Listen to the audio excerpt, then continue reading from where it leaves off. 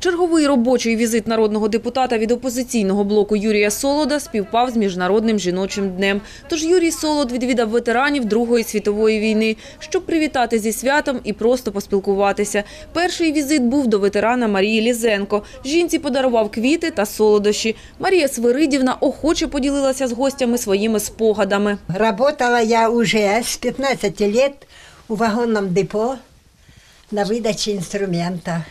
Уже я работала до войны. Доля визволительки Слов'янська непроста. Ще підлітком вона втратила батька та двох сестер через голод у 30-ті роки, тож змушена була працювати з дитинства. Коли почалася війна, її направили в обоз на волах підвозити снаряди до Святогірська. Коли ворог був зовсім близько, 16-річна дівчина попросилася на фронт. Марія Лізенко готувала їжу солдатам. А меня заставили э, готовить э, кондер, так мы называли, пшено, а другой ра- день горох. Вот это мы готовили. А на КП нести, э, КП от э, немца, от э, фронта ихнего, несколько метров. И слава Богу, меня тогда еще Бог берег, меня не убило. З 230-ї стрілецькою дивізією вона дійшла до Берліна. Марія Лізенко брала участь у визволенні Слов'янська, Святогірська і багатьох інших міст Донбасу. Марія Свирідівна пишається, що вулиця неподалік її дому названа на честь її чоловіка, героя Радянського Союзу Миколи Лізенка. А замуж я выходила уже здесь. Я, я его на войне не знала. Он танкист, а я в пехоте.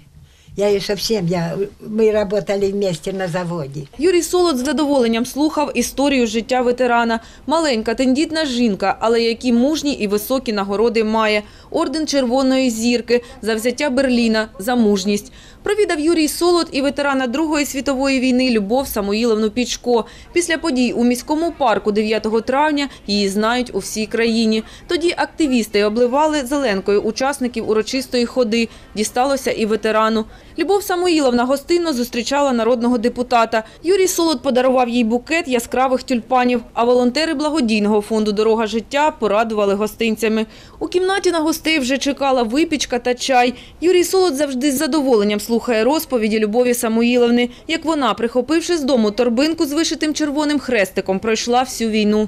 Вот это моя фр- фронтовая последняя фотография ф- фронта. Это вы? Да. Я иду в военкомат, и меня в тот же день отправляют в воинскую часть.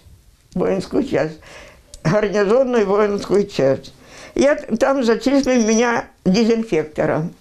Но я прошла вс- э, все работы, и штабник, и прачка, и наглазки, Війна застала зовсім юну дівчину в цьому ж будинку по вулиці Поштовій, де вона і зараз живе разом зі своїм племінником. Про це їй нагадують фотографії, нагороди і викладки з газет. Тоді їй було років 16, а зараз вже за 90. Молодий санінструктор Любочка спочатку служила радисткою, потім деякий час зв'язковою на комутаторі. Доводилося ходити через мінні поля під обстрілами, з'єднувати порвані лінії зв'язку. Під час зустрічі ветеран висловила подяку за надану увагу з боку народного депутата і його волонтерів. Ми вели беседу, показали фото, ой, фотографії і після війни, і ну, от. Я дуже благодарна йому, що він поздравив. У свою чергу Юрій Васильович зазначив, що ветерани можуть завжди розраховувати на його підтримку і допомогу.